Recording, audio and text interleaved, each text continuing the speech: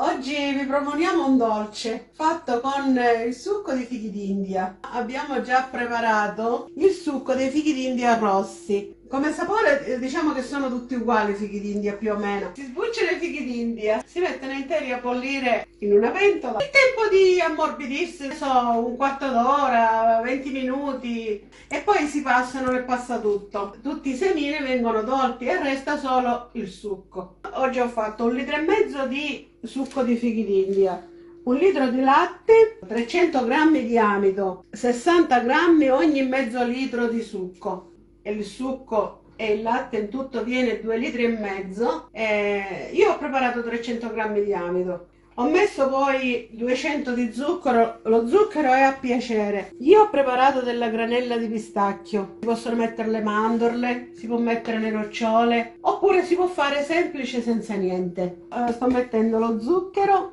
lo immischiamo con l'amido, miscelandolo, l'amido e lo zucchero non forma grumi. Ora mettiamo il latte, andiamo a mischiare. In modo che si scioglie eh, l'amido per bene? Ecco avete visto come si è sciolto bene eh, l'amido con lo zucchero? Non ci sono grumi per niente. Questo adesso ne mettiamo un pochino qua di latte e l'altro lo aggiungiamo qua. a farlo bollire adesso mettiamo un pochino di cannella però è facoltativa. Noi adesso quello che ci avanza eh, il succo lo mettiamo nelle bottiglie e lo mettiamo a congelare. Quasi pronti per mettere il latte con l'amido e lo zucchero perché comincia ad, a bollire qua.